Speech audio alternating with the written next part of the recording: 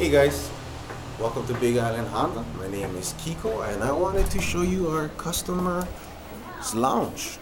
So at our customer's lounge you do have free water, TV, internet, check out our coffee selection. Man, some donuts. Mr. Customer, how you doing?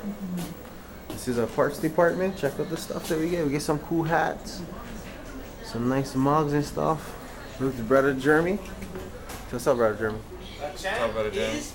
Oh, look! Hey, all these guys love Kobe Bryant. Just to let you guys know, if you guys like a nice discount, come down here and tell me you love Kobe Bryant. This is our pots manager right here. How's it going, dude? Alright. So I for show everybody the pots department. Look, this is what you can expect from Jeremy. Jeremy, say what's up. Yeah, whatever. Nothing, YouTube. So guys, come to Big Island Honda. You guys see in our waiting room and some of the people at Pots Department. Again, tell them Michael Jordan is the greatest and you have a discount. Tell them Kobe is the greatest. You might not have the discount. So. All right.